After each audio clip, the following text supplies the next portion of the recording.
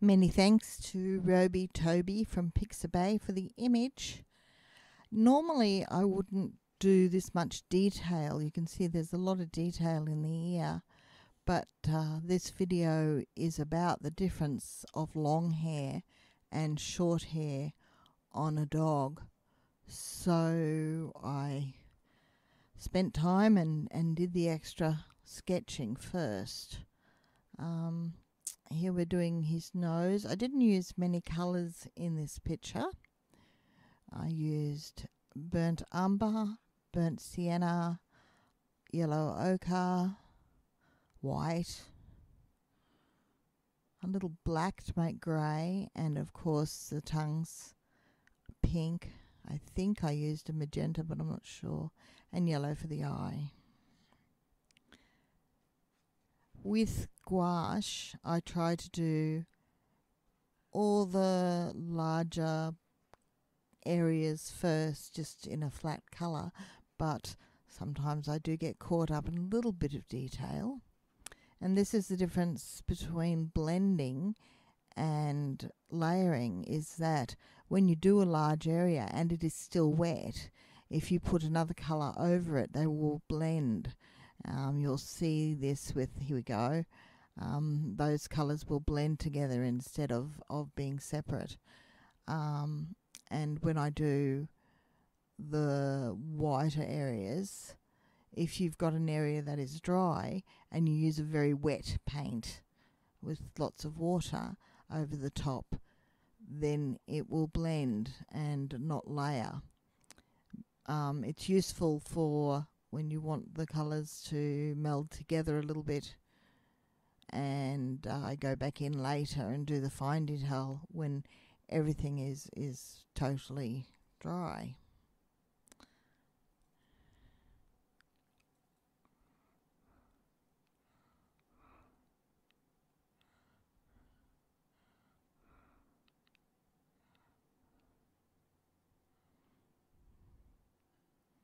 Now the idea for this video came about when somebody on Facebook asked me the question of doing long hair on dogs and I said that you do it in clumps rather than individual hairs. And as I was doing this, the ear is the long hair, the, the face has much shorter hair. So there's the two types. Um, so when you you see me doing the shorter hair, I get the basic colours down first, and then at the very end, I'll go over with a very fine brush and add just a few individual hairs where they are needed most, which is often around the edges, the whiskers, and between colours to show that the dog isn't totally smooth. In coloured pencils, one of the mistakes I often see is people using blenders on animals. Um, animals aren't smooth. They're they've got coat and they've got movement to that coat, even if it's short. Um, it shouldn't be. You shouldn't use a blender with coloured pencils. Painting around teeth. Bit of negative space there.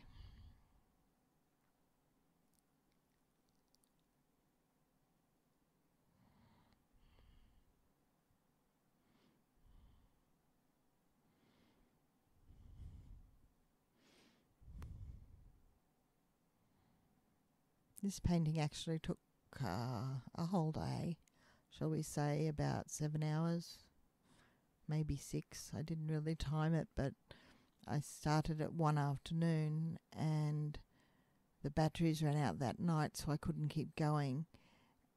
So I started again this morning and finished it at about one o'clock in the afternoon. So it it was a good day's work. And yet it's only eight inches by ten inches.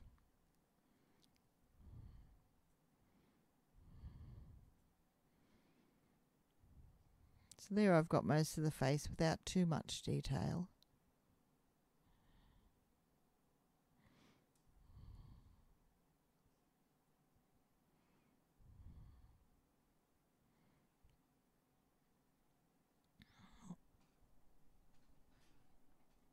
The teeth aren't white, they have a little bit of yellow in them. In this case, ochre, um, just to tint them so they're not as white as the paper. And at the back, they're a little shaded.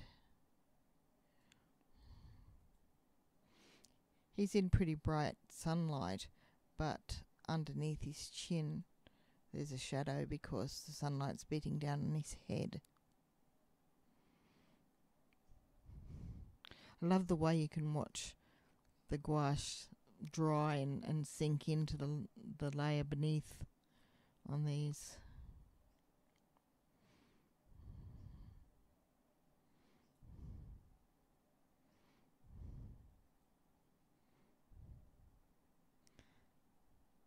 I just want to get that area lighter, so I added white.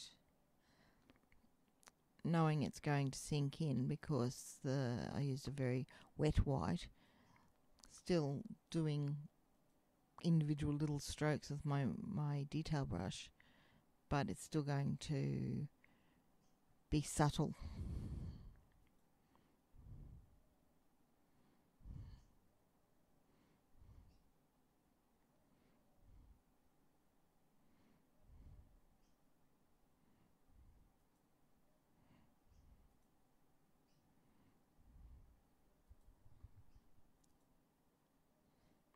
Ah, yes.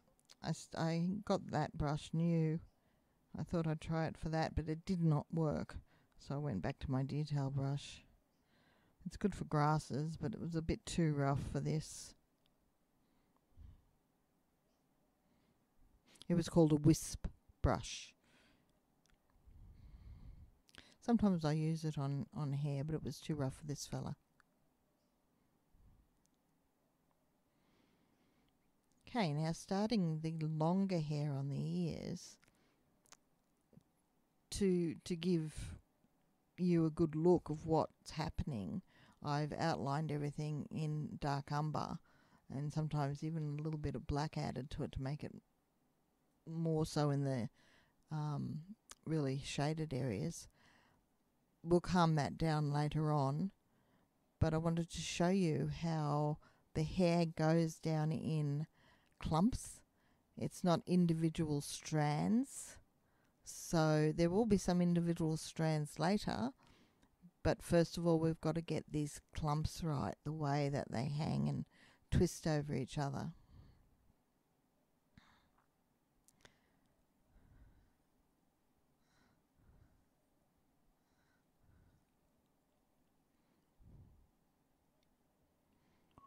So they're first in burnt umber and then um, burnt sienna.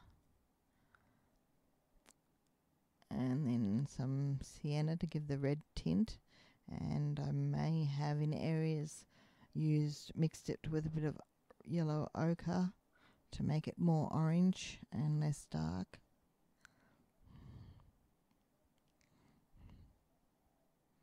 And this is gouache. This is the the beauty of gouache.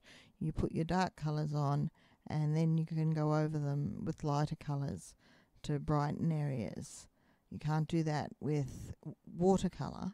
You have to leave those those light colours um, paper. Whereas with this, you can go backwards and forwards. You can lighten it and then think, oh no, that's too light, and darken it a bit again, and then think, oh no, that's too dark, and it. It's very forgiving, and you can put as many layers as needed on.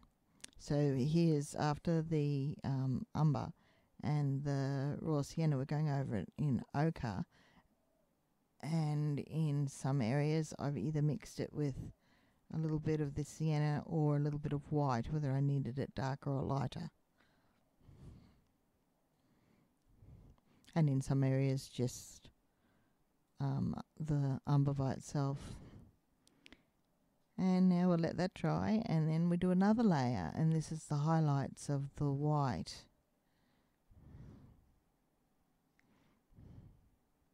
And you can see where it sits above and then areas where I either haven't let it dry enough or the white is just a little bit too wet and it sinks in.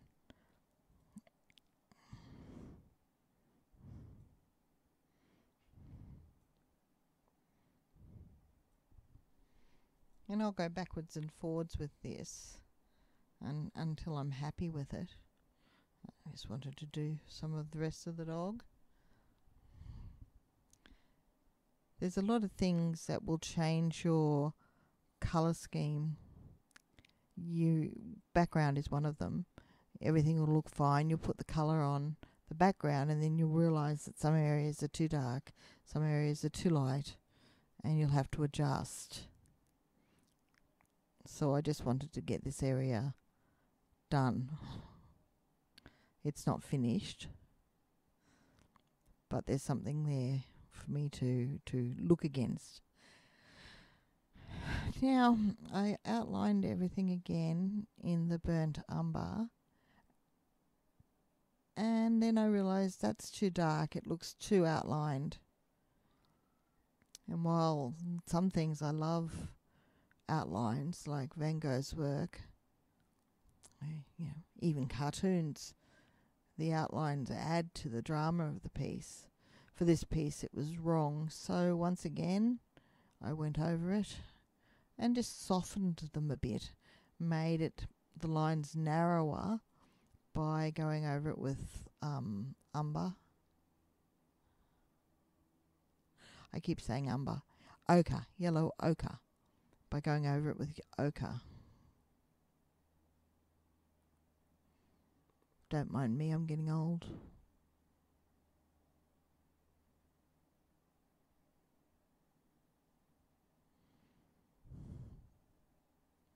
I never really like giving colours because I think you, you look and use the colours you want to. Some artists go to great detail to make colours exactly the same as the photo. Um, I, I want to make them. I, I don't want a complete replica of the photo. We have the photo. So I want it to, to look like art, not to look like a photo.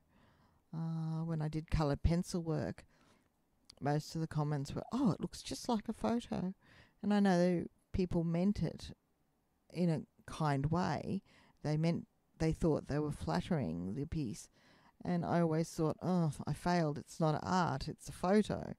So photos can be art to the photographer, but not when you're just copying one because the client has given you a photo to do and that's the photo you've got to do.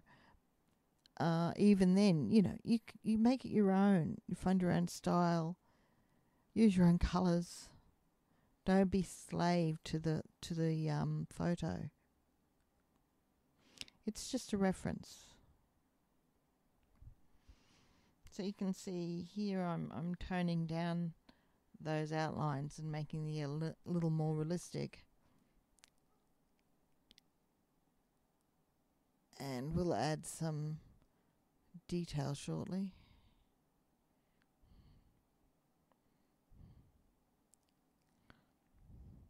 Remembering that uh, this was stopped many times to let it dry and indeed to let me sleep so it wasn't done all in one sitting.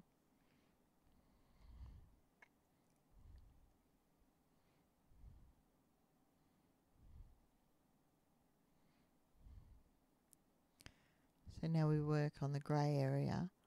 I don't want to lose all that grey, but I definitely need to lighten it because um, it's he's he's mostly white in that area, but not as white as paper. In watercolor, you can leave the paper um, as your your main white, but here that's not needed, and I want to leave a little bit of the grey, let a little bit of the grey to come through.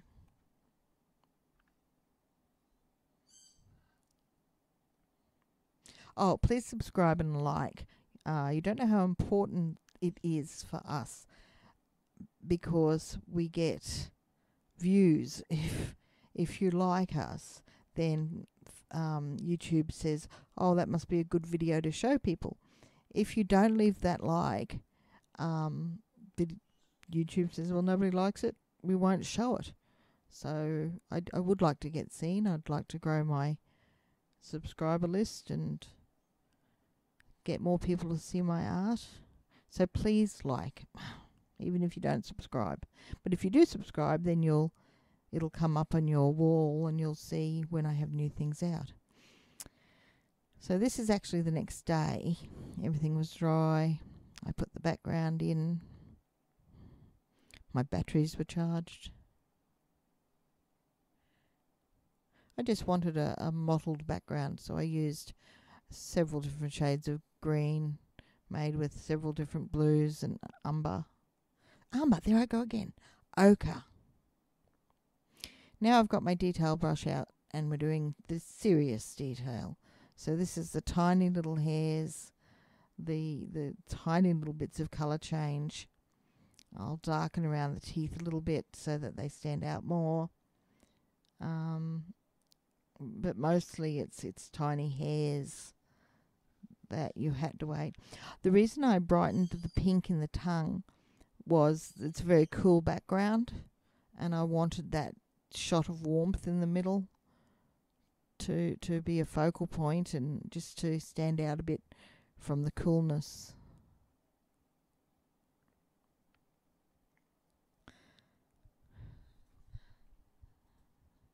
All the little wispy chin hairs.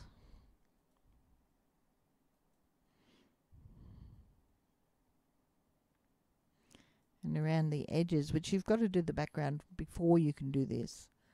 So you do the background, let it dry, and then you can put your wispies on over the top, and it makes the dog fit in with the um, background. It's it's not just flat; it it fits into a scene. And a few wispier hairs on the ears, but not a lot. Most of the wispies are short.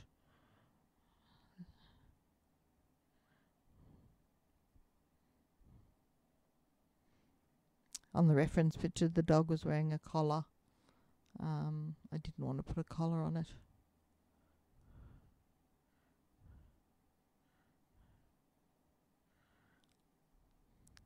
And then we'll sign it.